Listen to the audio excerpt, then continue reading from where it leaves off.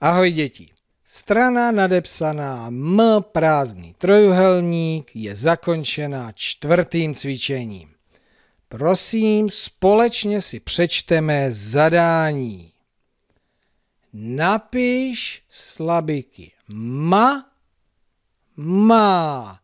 Jak se píší slabiky? Agátko, ukaž nám to, poraď nám. Agátka nám ukáže, jak se píše slabika ma.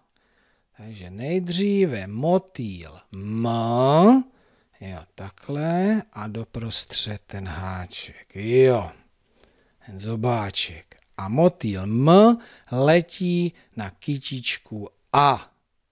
Krátké a bez čárky. Takže tohle je napsaná slabika ma a my natrénujeme na prvním řádku. Motýl M letí na kytičku A, ale potom je mezera a potom další slabika.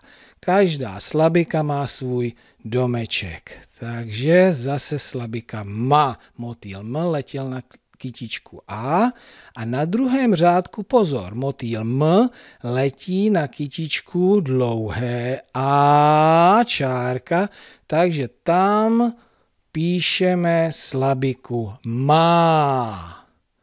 Aha. Výborně, takže tohle byla ukázka a teď se do toho pustíme. Nejdřív se do toho pustím já, vy teďka nepište, až video skončí, tak si to v klidu napíšete. Tak jdeme na to. Tak budeme nejdříve trénovat. Já si vezmu pastelku, pastelku držím ve třech prstech, hezky sedím, rovná záda, nohy mám opřené o zem. Chci tady trénovat slabiku ma. Nejdříve napíšu motýla M, takže takhle ty čárky a doprostřed a nahoru a k tomu připíšu kytičku A. Tak, takže jsem napsal slabiku ma. Ještě jednou si to natrénuju. Motýl M letí na kytičku A. Vy to zopakujte, kolikrát budete chtít. Já si myslím, že jsem připraven. Tak půjdu na řádek. Nejdříve ve vzduchu. Motýl M letí na kytičku A. Chci psát slabiku ma. Mezi slabikami musím držet mezery. Každá slabika má svůj domeček. Takže motýl M, motýl M,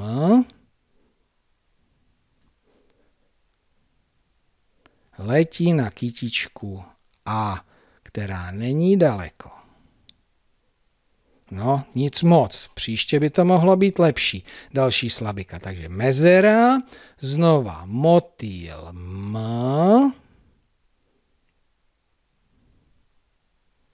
letí na kytičku A.